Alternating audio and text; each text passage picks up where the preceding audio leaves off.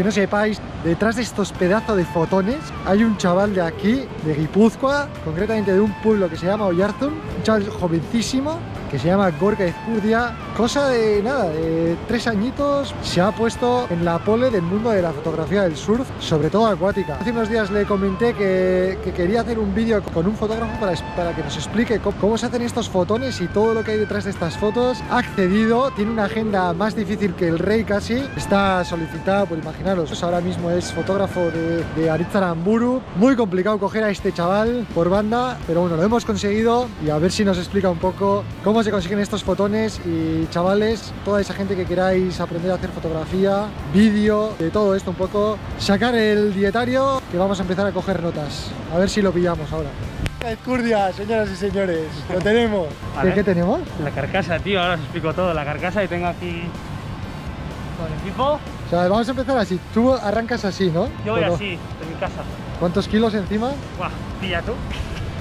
¡Hostia, chaval! Sí, sí. Imaginaros caminar por las dunas con 40 grados detrás de los pros ahí corriendo a toda leche con todo ese cacharro.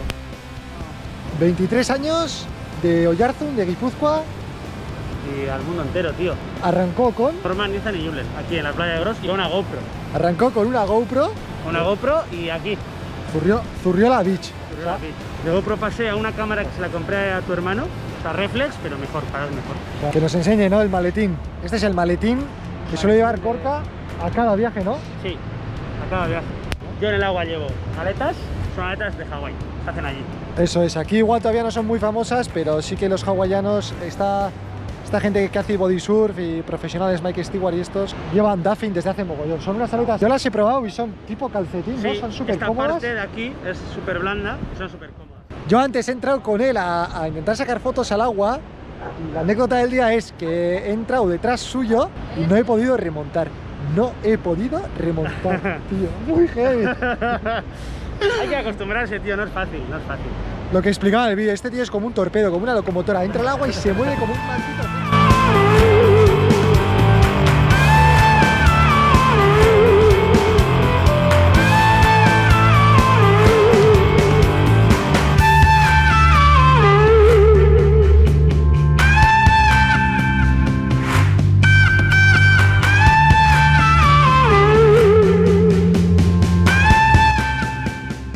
Carcasita, que también tengo apoyo de carcasas por Liquid Eye. Es una empresa de Bali que hace carcasas. Que se saque un código de descuento, ¿no? Algo. Para todos los que están interesados hay código de descuento. ¡Ay! Hay código de descuento. Hay código de descuento, ojito, apuntamos. Joder, vaya cacharro. Tengo ¿no? diferentes puertos dependiendo del objetivo que quiero utilizar. Tengo, por ejemplo, estas que es para 60 200. ¿Cuál es su material? ¿Qué es lo que se lleva a todo viaje? Un fotógrafo. Paso a paso, a ver. A todos los viajes, sí o sí, me llevo un teleobjetivo, que puede ser un 60 200 o un 100 400. Este veo que ya está preparado Esto para... está preparado para meterlo al agua. Eso es para carcasar desde fuera, que es un 100-400.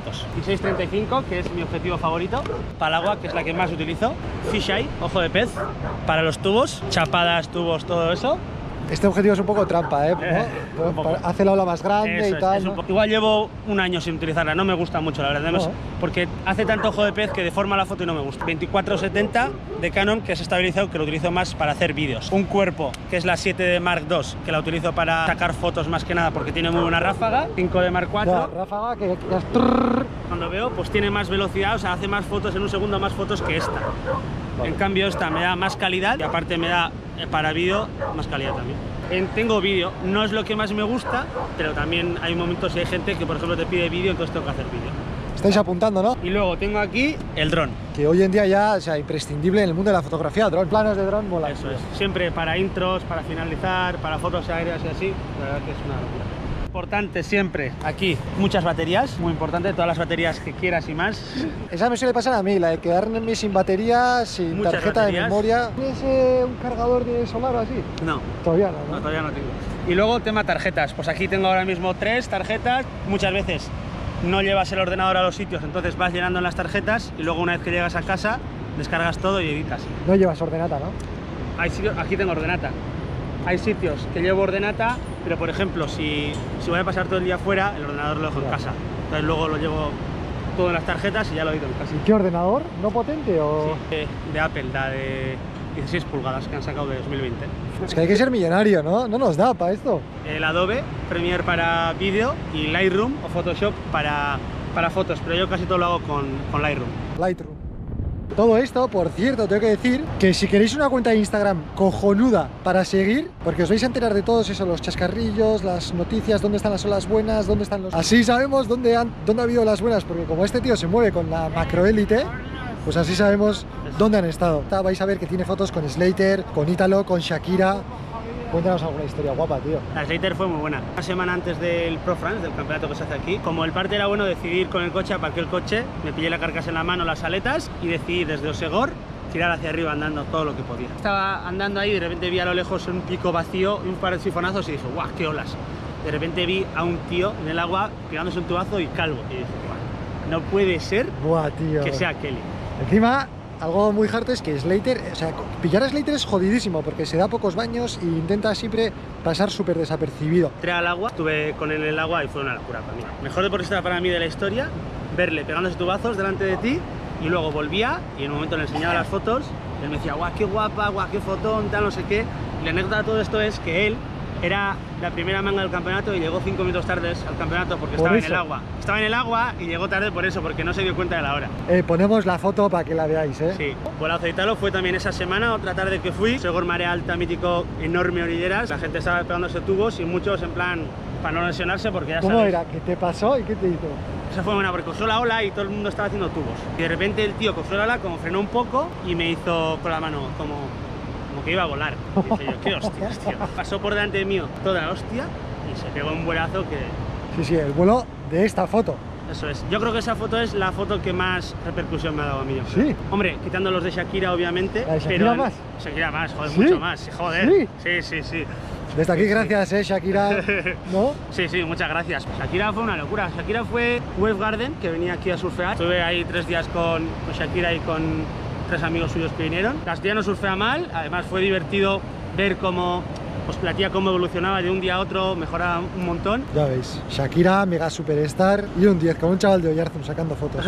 Mucho punch me ha dado desde este año ha sido empezar a trabajar con Aritz. Es ahora el fotógrafo y filmmaker personal de Aritz Aramburu, o sea, para que os fijéis como una eminencia del surfing nacional como es Aritz confía en Gorka, eso demuestra los galones de, de Gorka. ¿eh? Ponemos, unas fotos de Aritz Ponemos, aquí. unas fotos, Sí. unas- ponemos aquí unas fotos de Aritz y la verdad es que de entonces ha ido todo rodado. Y la verdad que tenemos un feeling muy bueno, lo entendemos perfecto y Dos motivados. eso es.